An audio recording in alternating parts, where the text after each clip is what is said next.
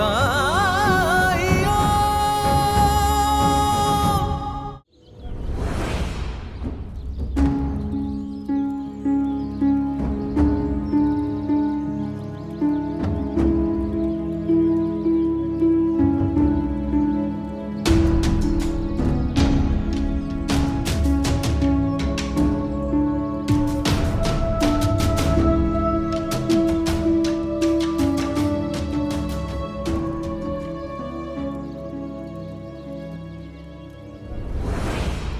ऐसे बिना सोचे समझे कहाँ चला जा रहा था। भूख लगी है। इसका मतलब ये तो नहीं कि किसी के यहाँ भी घुस के खाना खा सकता हूँ।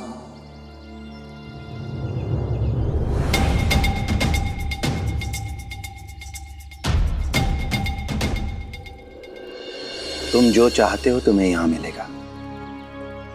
पर उसके लिए अंदर तो आना होगा ना। लेकिन आप मुझे नहीं जानते। और मैं भी आपको नहीं जानता। ओ भाऊ, ये द्वारका माई है, द्वारका माई। यहाँ आने के लिए जान पहचान की ज़रूरत नहीं होती। यहाँ लोग दूर दूर से आते रहते हैं। आप जिनके सामने खड़े हैं ना, उनसे मिलने। ये साई है, साई। आप इनसे उपमा क्या। कुछ भी मांग सकते हैं। ये किसी को निराश नहीं करते। अच्छा साई, अब हम चलते हैं।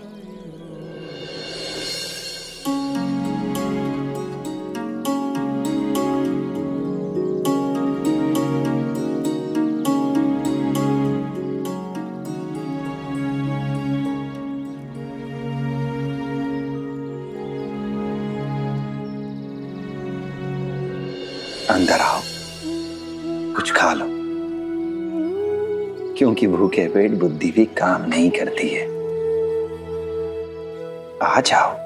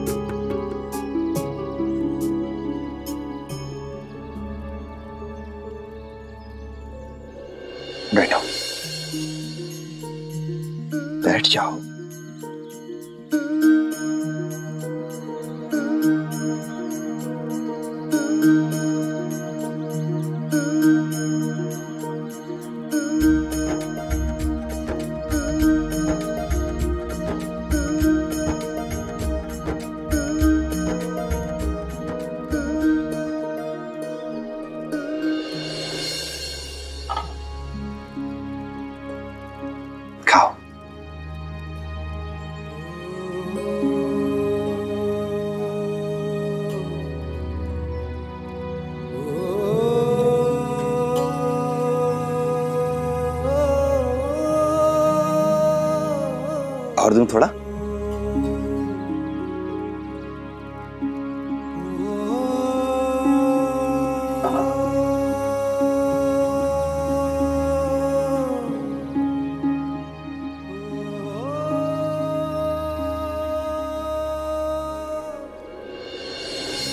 प्रणाम साईं।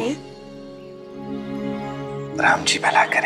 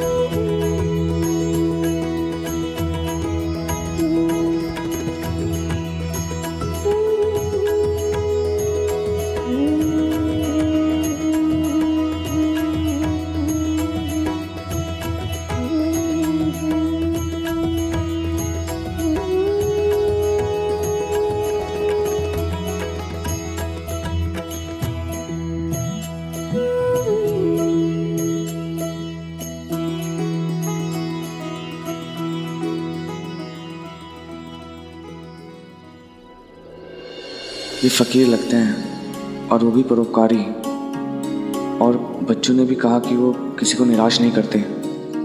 मुझे लगता है कि मैं इनसे कुछ पैसे मांग कर घर वापस जा सकता हूँ।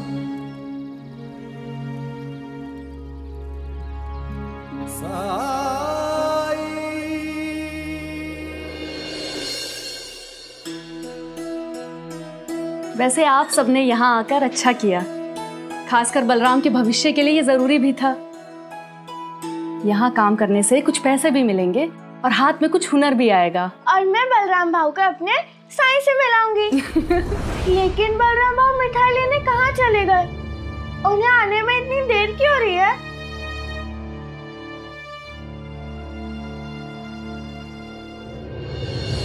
जब से परी को पता चला है कि आप लोग आने वाले हैं तब से इसने पूरे गाँव में ढिंडोरा पीट दिया है।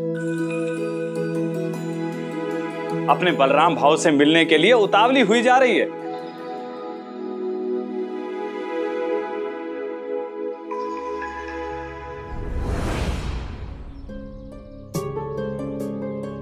सब उसका इंतज़ार कर रहे हैं और वो है कि अब तक नहीं आया है।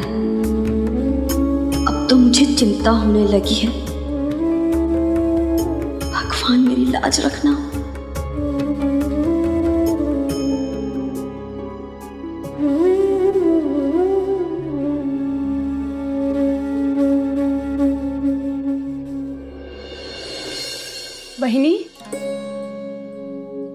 परेशान क्यों हो रहे हैं? बलराम अब बच्चा तो है नहीं कि गुम हो जाएगा। आ जाएगा थोड़ी देर में। और वैसे भी शिरडी है ही कितनी बड़ी। और यहाँ सब भले लोग हैं। उसको कोई परेशानी नहीं होगी। हाँ बहिनी। अरे तुम लोग खाओ।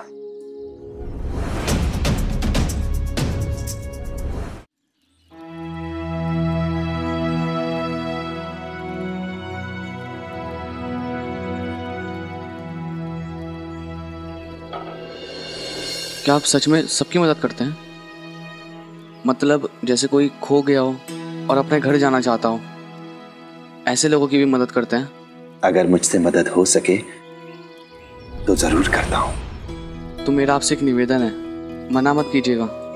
मेरी आई चाहती है कि मैं अपने काका के साथ यहाँ पे काम करूँ। लेकिन मुझे शिरडी में नहीं रहना। मुझे अपने गाँव वापस जाना है। क्या आप मुझे थोड़े पैसे दे सकते हैं? ताकि मैं अपने गाँव वापस जा सकूँ। मैं तो बैरागी हूँ। भिक्षा में भोजन अनाज फल फूल के अलावा कुछ नहीं लेता। मेरे पास तो एक फूटी कौड़ी तक नहीं है।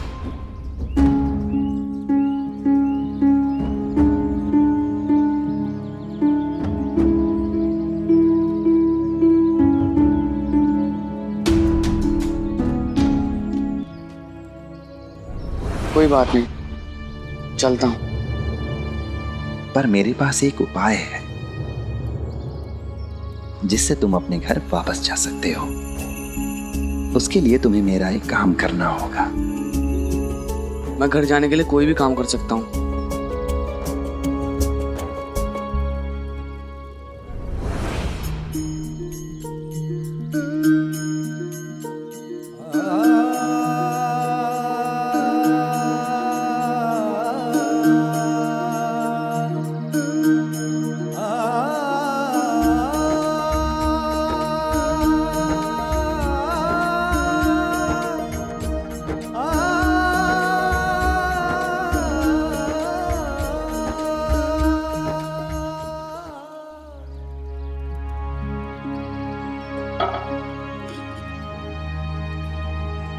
इसे किसी के घर पहुंचाना है।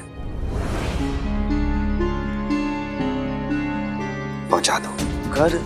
लेकिन मैं तो यहाँ किसी का घर नहीं जानता। मैं तुम्हें रास्ता बताता हूँ ना। यहाँ से सीधे जाना। आगे जाकर तुम्हें मारुति मंदिर मिलेगा।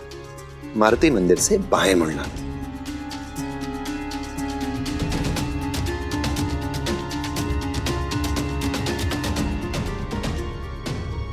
गली में जाकर चौथे मकान में ये उपमा दे देना। लेकिन उपमा देने से मैं अपने घर कैसे पहुंचूँगा? मुझ पर विश्वास रखो। और जैसा मैंने कहा है वैसा ही करो। तुम्हारी समस्या हल हो जाएगी।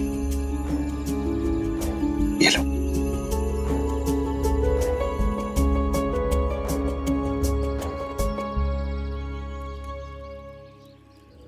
विचित्र आदमी है ये।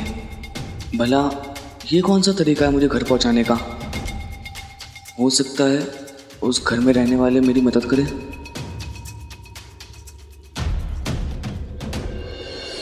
ठीक है चलता हूँ। राम जी भला करे। साई के क्या है? कौन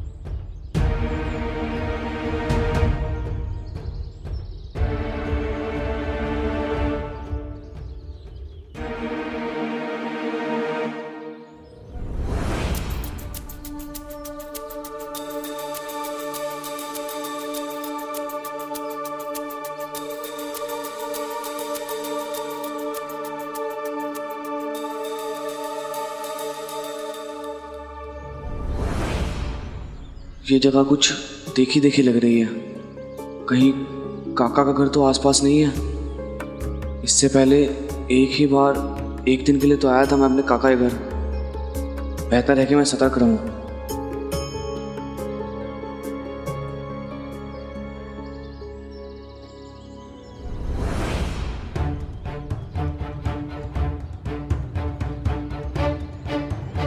चौथा घर तो यही है।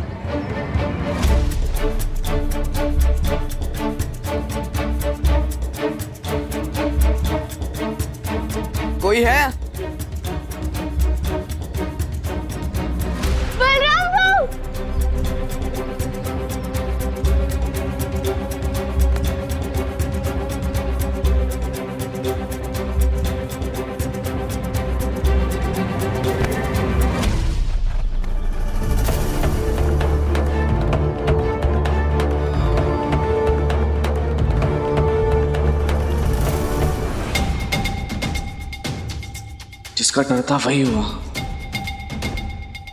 अरे बलराम बेटा तुम आ गए? आओ अंदर चले। आ जाओ।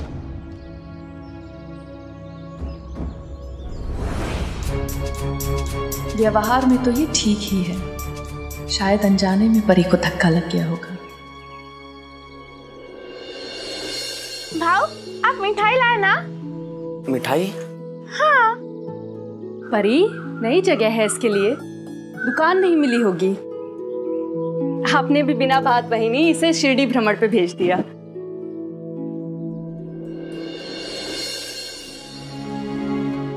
तो फिर आप इसमें क्या लाए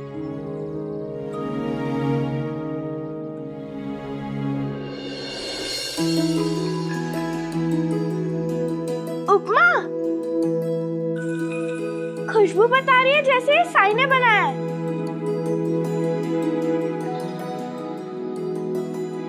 अब द्वारका में गए थे उनसे मिलने। कैसे लगे वो आपको? आप जानते हैं जब मैंने उन्हें आपके बारे में बताया तो वो भी आपसे मिलने के लिए बहुत उत्साहित थे।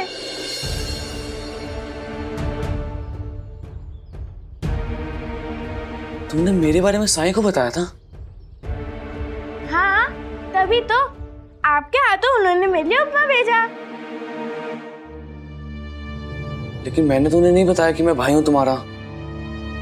वो साई है साई सब सब जानते हैं। अगर मैं उन्हें नहीं भी बताती फिर भी आपके बारे में उन्हें सब कुछ पता होता। हाँ बेटा परी सही कह रही है साई से कुछ नहीं छिपता।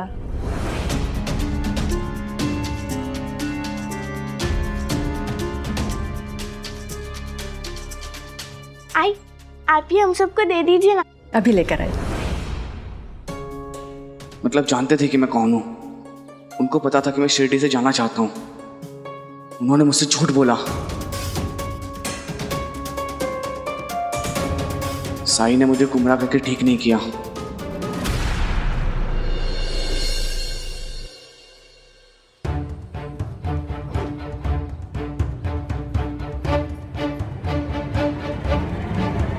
सामान वामान बाँध कर कहाँ जाने की तैयारी है? माइके क्यों? ये आप खुद से पूछिए। क्या किया मैंने? बनिए मत। आपने फिर से जुआ खेलना शुरू कर दिया है ना? याद है ना? क्या कहा था मैंने पिछली बार?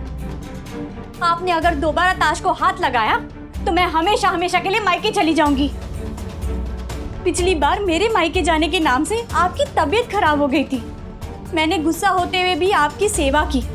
आपके लिए साई से उदी मांग कर लेके आई। आपने तो वादा किया था ना कि आप फिर से कभी जुआ नहीं खेलेंगे हाँ? लेकिन नहीं, आपको हमारी शादी से ज़्यादा उस जुए से प्यार है। इसलिए तो इसीलिए तो आप मेरे विश्वास को दाव पर लगाकर फिर से जुआ खेलने लगे। अब खेलिए जुआ।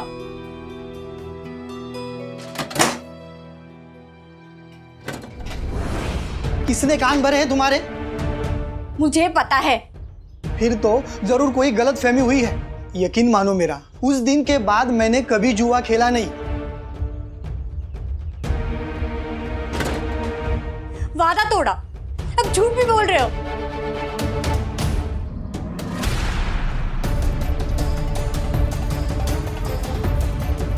ये क्या है? हाँ? कितना लुटा के आए हैं आज? अरे भगवान ज़रूरी थोड़ी ना है कि इससे सिर्फ़ जुआ ही खेला जाए। ताश के और भी बहुत सारे खेल होते हैं। और यारों दोस्तों के साथ कभी कभी एक दो हाथ दाव लगा भी लिया तो इसमें क्या बुराई है? ताश खेलना और जुआ खेलना, दोनों में ज़मीन आसमान का अंतर है। जब आप जुआ खेलना शुरू करते हैं, आपका स्वभाव बदल जाता है। बहुत ज़्यादा झूठ बोलने लगते हैं आप। इस बार तो मैं जा रही हूँ, मायके।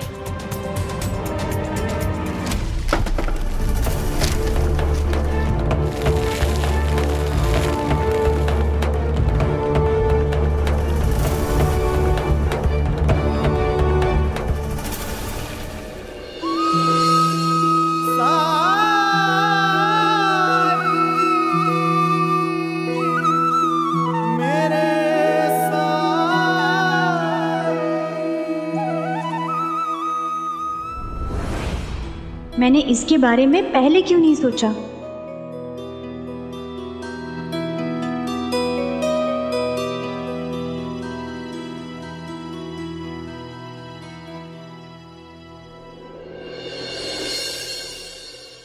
बलराम, तुम बिल्कुल भी चिंता मत करना। मैंने तुम्हारे लिए काम की पहले ही बात करके रखी है। मेरा एक बहुत अच्छा दोस्त है ठाकुर। वो बढ़ई का काम करता है। उसी के पास तुम्हें काम करने के लिए जाना है। अपनी खुद की दुकान है उसकी। कुर्सी, मेज, पलंग सब कुछ बनाता है। वहाँ तुम्हें काम भी सीखने को मिलेगा और पैसे भी मिलेंगे। कल से ही काम शुरू कर देना। ठीक है?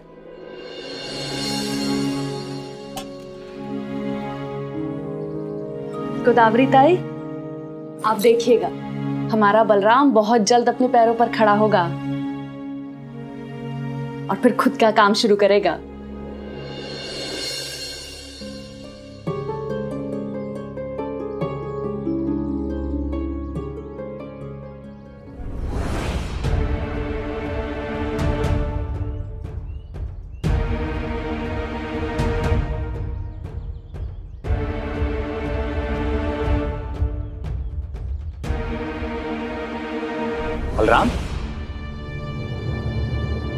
यहाँ सबके साथ बैठकर खाओ। वहाँ क्यों चले गए?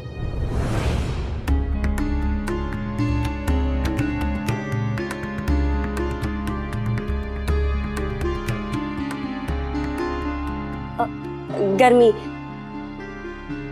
बलराम को गर्मी बिल्कुल बर्दाश्त नहीं होती है।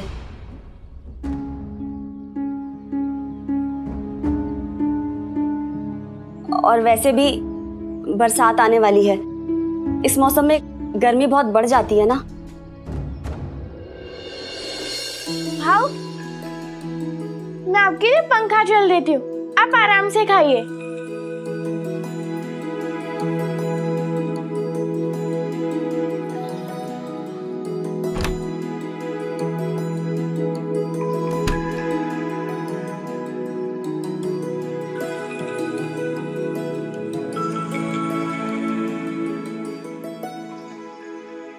नहीं परी तुम खाना खा लो। मुझे पंखे की ज़रूरत नहीं है। आप मेरे लिए परेशान मत होइए। इतना तो कर ही सकती हूँ मैं आपके लिए।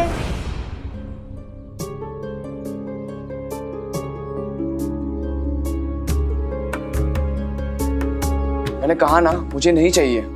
तुम खाना खाओ। पहले आप खा लीजिए मैं बाद में खा लूँगी। तुम्हें समझ नहीं आता क्या? मना किया ना मैंने।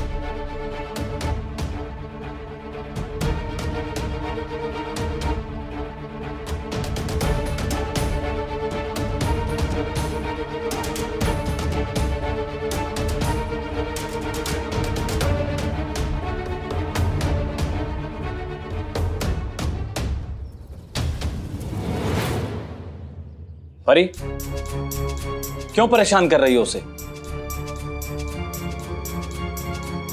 जब उसने कह दिया तो छोड़ दो ना। यहाँ पर बैठकर खाना खाओ और उसे भी शांति से खाना खाने दो। आ जाओ।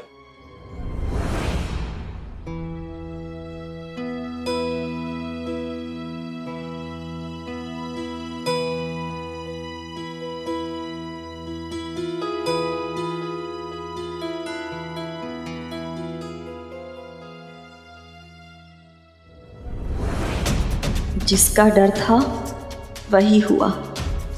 शुरुआत हो गई इसकी। साई, मुझे आपके पास पहले ही आ जाना चाहिए था। आपकी दी हुई उदी से इनकी बीमारी तो ठीक हो गई, पर इनके जुए की लत अभी तक नहीं गई। फिर से ताश खेलना शुरू कर दिया है। दोस्तों के साथ पैसे भी दाव पर लगाना शुरू कर दिया है इन्होंने। इनको तो लत लग गई है जुए की। ओ हो हो हो। सब मेरे हैं बताओ हाँ? पूरी बात क्यों नहीं बताई साई को?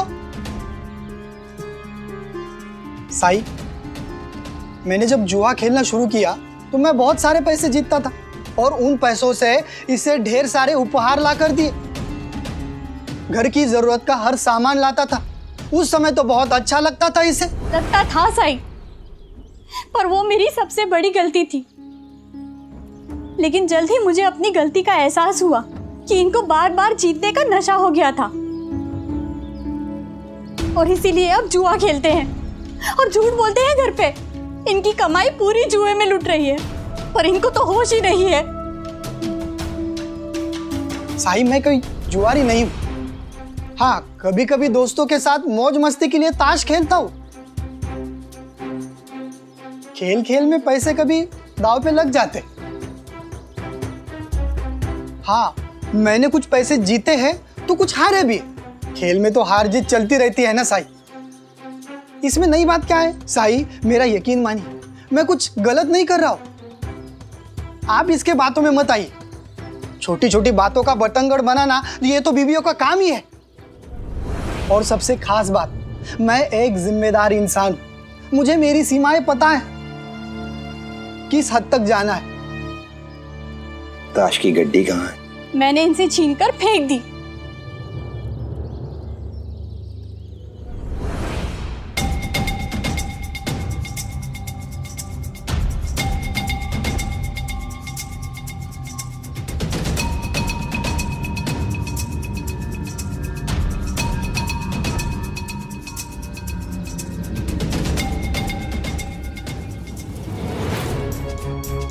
एक इससे छुपा के रखनी पड़ती है।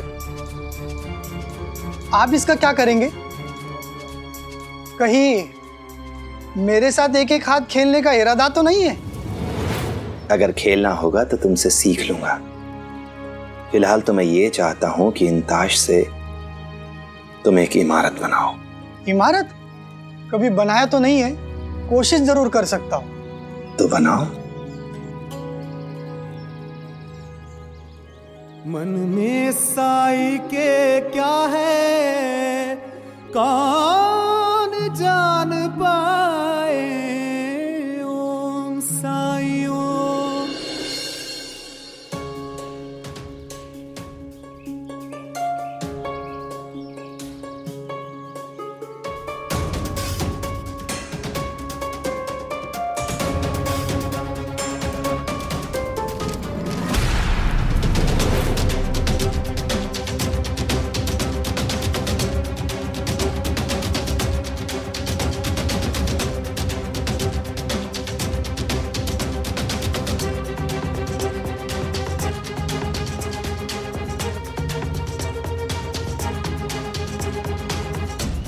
ये क्या किया साई आपने?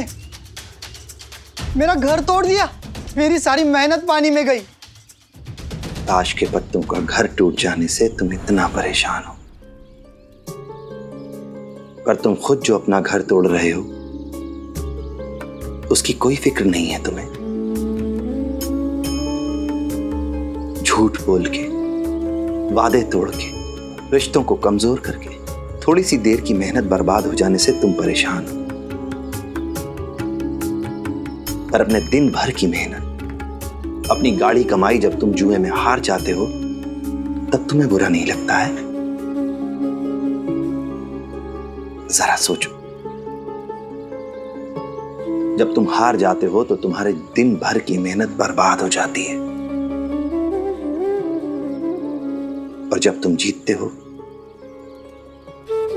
तो किसी और के दिन भर की मेहनत बर्बाद करते हो तुम। बताओ। क्या ऐसी कमाई से कोई पनप सकता है?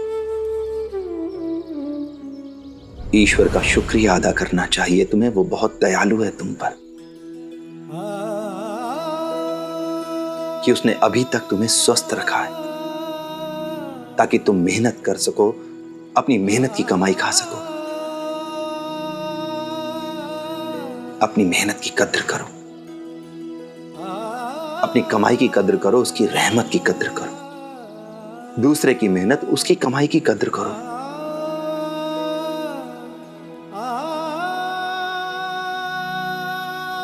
साई, आप ठीक कह रहे हैं।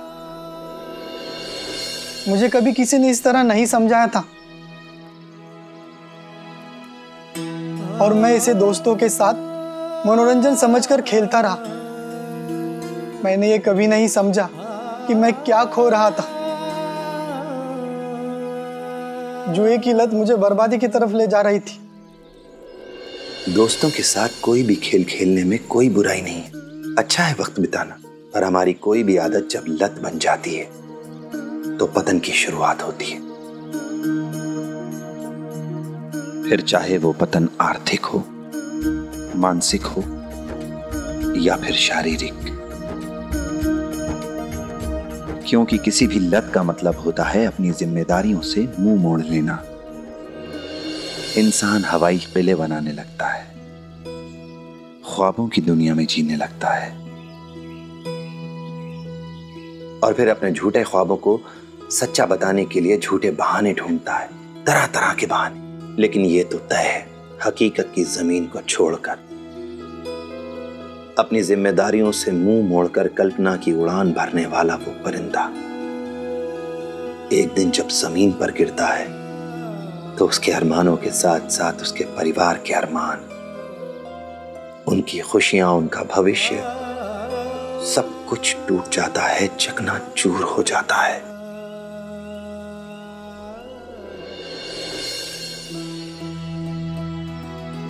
मैं समझ गया साई। मैं बहुत मेहनत करके पैसे कमाऊँगा।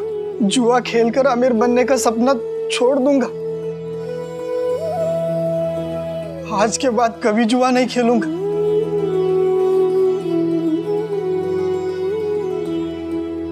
धन्यवाद साई। आप पर आस्था ही मेरी शक्ति है।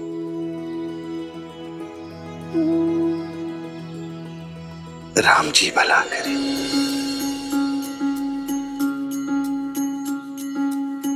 जब जीवन में दुख का अंधियारा छाए, मन में सदा श्रद्धा की जोत जलाए, विश्वास मन का तुझको पार लगाए, भक्ति भावना श्रद्धा से जो शीश झुकाए, ओम साई ओम साई, ओम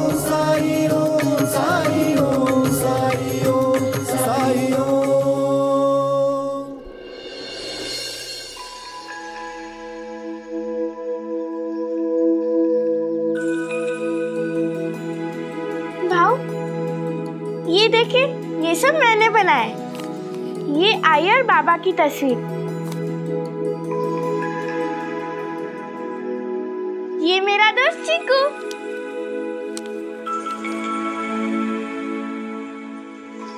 और ये साई।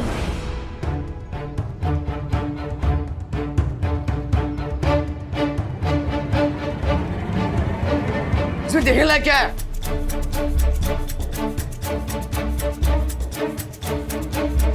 हटाओ इसे।